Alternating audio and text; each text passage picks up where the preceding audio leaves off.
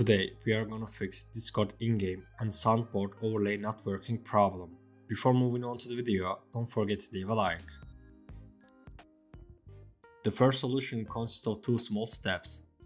This solution works almost 100%. The first step is to run Discord as an admin. To do this, we go to the search section and open run. We type percent local app data percent into the search bar and click OK. We find Discord and double click on it. Then we click on the app folder. From within this folder, we find Discord and right click on it. After that, we click on properties. Then we click on compatibility. We check run this program as an admin. Then we click on apply and then OK. For the second step, we open Discord. Then click on user settings. We scroll down and find game overlay. Then we toggle the enable in-game overlay on. Then click on registered games. If we can see our game here, we need to edit from above. Remember, the game must be open before we can edit. After doing this, we can open the overlay for the game we edit by clicking toggle overlay. I don't know why, but the toggle doesn't turn on right after I click it. This will most likely not happen to you. We click on advanced for the last thing we need to do. After doing this, we toggle off hardware acceleration. Click OK to continue. Now, you can relaunch Discord and check if the problem is solved or not. If this solution did not work for you, we will move on to the second solution.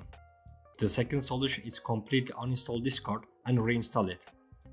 The reason for uninstalling and reinstalling is that the soundboard is a new feature and may be causing issues with overlay. By reinstalling, we can solve this problem. To delete Discord's cache files, we search for run in the search section and open it. We type %appdata percent into the search bar and click OK. We right click on Discord and delete it. We have cleared Discord's cache files. To remove Discord from our computer, we go to the search section again and open control panel. Then we click on uninstall the program. We right click on Discord and then click uninstall. We have uninstalled Discord from our computer. To download it again, we open our browser and click on Discord's website. Then we click on download for Windows. We have downloaded Discord setup file. Now we will install Discord. We click on run to continue. We have installed Discord. Now we can log into our account and check if the problem is solved or not. We have come to the end of the video.